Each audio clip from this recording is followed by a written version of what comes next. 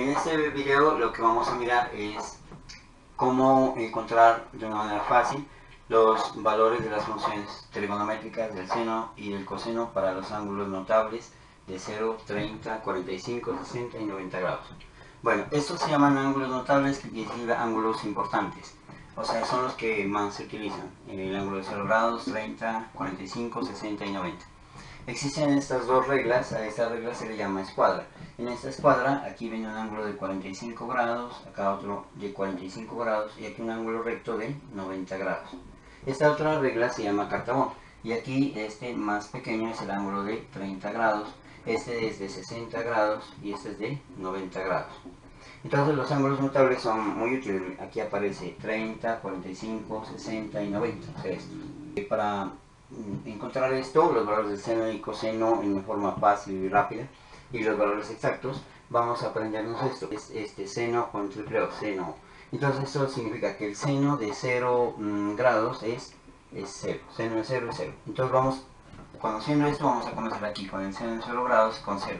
Pero así, raíz de 0 sobre 2. Vamos en orden. Aquí raíz de 1 sobre 2.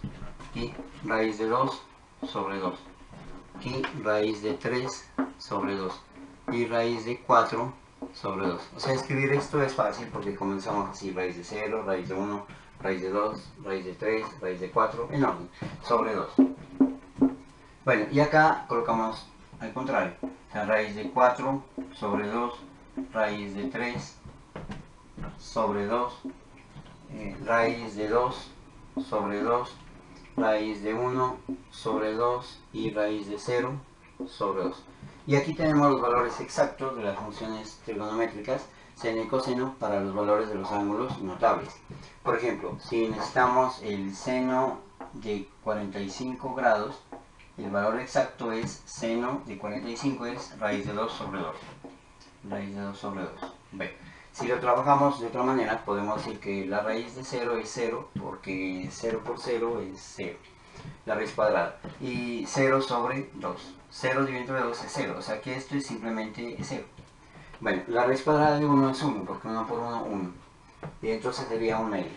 Entonces aquí lo que tenemos, el valor exacto es un medio, que en decimales equivale a 0,5, dividiendo 1 entre 2.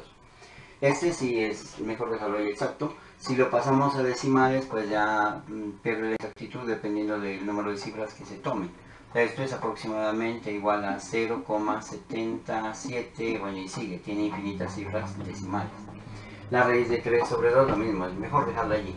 Pero si la pasamos a, decimal, o sea, si sacamos aquí, por ejemplo en el anterior, si sacamos aquí la raíz del 2 cuadrada, que es 1.4142, bueno, infinitas cifras, dividido entre 2, obtenemos esto. Si aquí sacamos la raíz cuadrada del 3, obtenemos 1.73, bueno, sigue infinitas cifras, sobre 2, si dividimos. Si dividimos la raíz de 3, que es este decimal entre esto, obtenemos 0,86, bueno, 60 puntos suspensivos en infinitas cifras decimales. Bueno, y aquí pues la raíz de 4 es 2 porque 2 por 2 4 sobre 2. 2 dividido entre 2 es 1. Entonces aquí ya tenemos los valores, eh, digamos, exactos, que sería 0, eh, acá sería un medio, 0,5, acá es mejor raíz de 2 sobre 2, acá es mejor raíz de 3 sobre 2, que es el exacto, y aquí sería 1.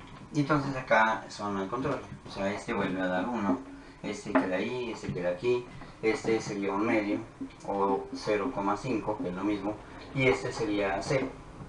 Y si este lo pasamos a decimal, sacando la raíz cuadrada de 2 y dividiéndola entre 2, obtenemos 0, aquí quedaría en forma aproximada 0,77 y van infinitas cifras decimales.